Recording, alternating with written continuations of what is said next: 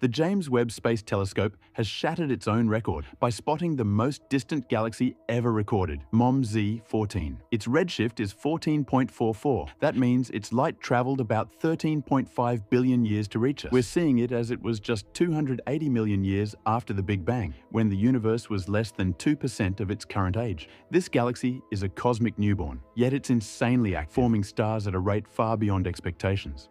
In fact, it's producing stars faster than galaxies 10 times its size in today's universe. Even more surprising, it contains carbon and nitrogen. These heavy elements shouldn't be there unless earlier generations of stars had already lived and died within just a few hundred million years of the Big Bang. That means star formation began even earlier than we thought. This challenges our current models of galaxy formation. Massive, metal-rich galaxies like this shouldn't exist so early in cosmic history. So what does this mean? Was the early universe more efficient at forming galaxies, or have we simply missed an entire population of even older, hidden galaxies?